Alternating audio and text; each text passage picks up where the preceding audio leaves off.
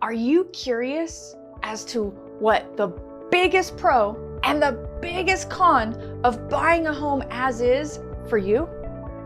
Stay tuned.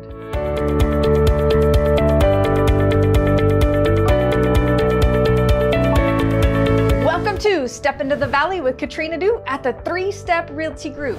In today's episode, we're going to be talking about the biggest pro and the biggest con of buying a home as is.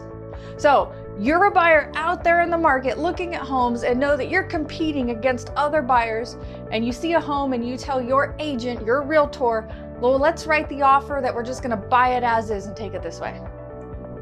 Well, there's a big pro and a big con to that. So let's first talk about the big pro.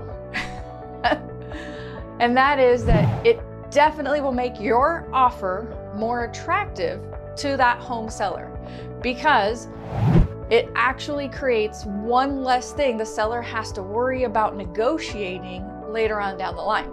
Because most home sellers are looking for the most money they can get with the least amount of risk.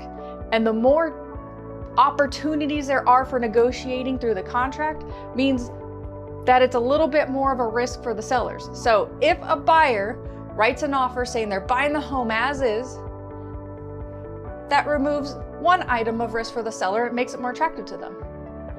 Now, when there's a pro, there's usually a con. So the biggest con of writing an offer on a home as is is the unknown. Unless that seller has done pre inspections ahead of time for you to review, which doesn't happen all the time, then you're writing an offer on a home that you know nothing about besides what you have seen walking through, looking at it, and what you've read in the description.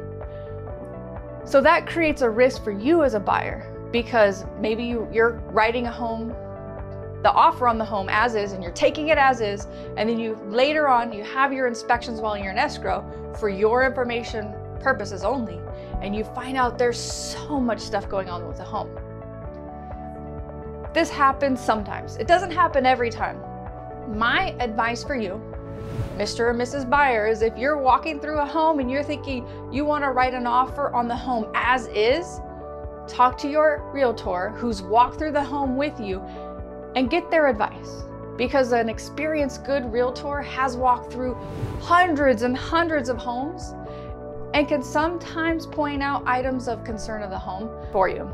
Now, there's definitely, as I mentioned, the pros because writing it as is means that you're more attracted to the seller. And if the home does appear to be in great condition and ends up being during inspections in good condition, well, then you've won. It's been a win win scenario for both the buyer and the seller. Now, if you're thinking about buying a home and you want an experienced agent walking through that property with you and giving you advice on how to best write your offer to be the most attractive to that home seller, give us a call at the number below. We would be absolutely honored to help you through the process. And in the meantime, subscribe to our YouTube channel because every Friday we have a new video out for you.